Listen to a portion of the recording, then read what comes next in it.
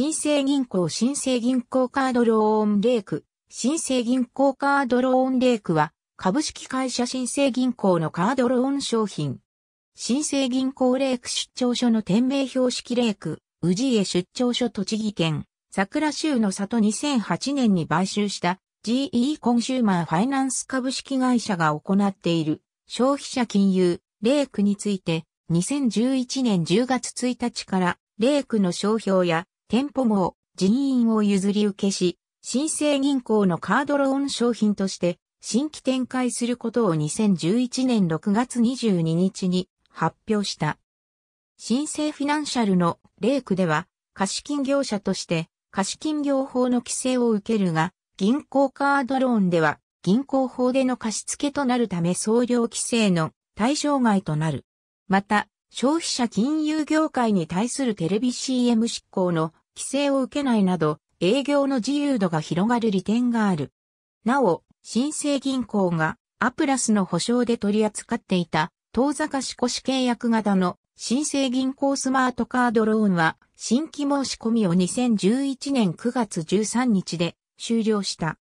消費者金融のブランドと融資事業を銀行が譲り受けるのは、日本においては楽天カードのマイワンを e バンク銀行へ移管した先行事例があるが、店舗ごと譲渡するのは初となる。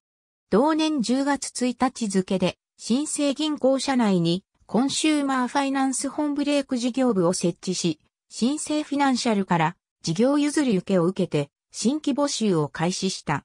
従来のレイク店舗は XX 自動契約コーナーから新生銀行本店レイク XX 出張所へ変更され、名目上、新生銀行の拠点が全都道府県に進出したことになった。なお、個人向け業務を統括するリテールバンキング本部とは並列した組織となっている。2018年4月以降、新規申し込みは停止されており、2019年11月28日に新生銀行カードローン L に解消された。カードの名称は新生 L カードであり、新生銀行のキャッシュカードデザインに L の文字を前面に並べた独自のレイアウトとなっている。カード番号の形態は新生フィナンシャルを引き継ぎ、新生銀行の普通預金口座とは異なる7桁となっている。新生銀行カードローンレイク開始日以前に、新生フィナンシャルのレイクで契約したものは、新生フィナンシャルカードローンに商品名称が変更されて、同社との契約が継続される形態となり、契約は新生銀行へは移管されない。また、新生フィナンシャルでは、同ローンなどの既存契約者を対象とした消費者、金融業と新生銀行カードローン L など、銀行の個人向けローン商品の保証業務の2本柱で事業継続していくことになる。自動契約機コーナーにある自動契約機での手続きとレイク ATM は現状、新生銀行カードローン L の新生 L カードとレイクアルザ、新生フィナンシャルカードローン、新生フィナンシャルから引き継いだ新規の取引のみ利用できる。携帯上は銀行店舗となっているが、レイク ATM では L カードとのローンカード以外の取引はできない。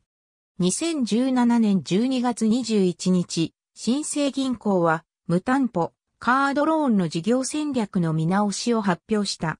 新生銀行本体で行う無担保カードローンを2015年に開始した新生銀行スマートカードローンプラスに一本化し、新生銀行カードローンレイクの新規契約は2018年3月末で終了した。また2018年4月より、新生フィナンシャルカードローンの名称をレイクアルサに改めた。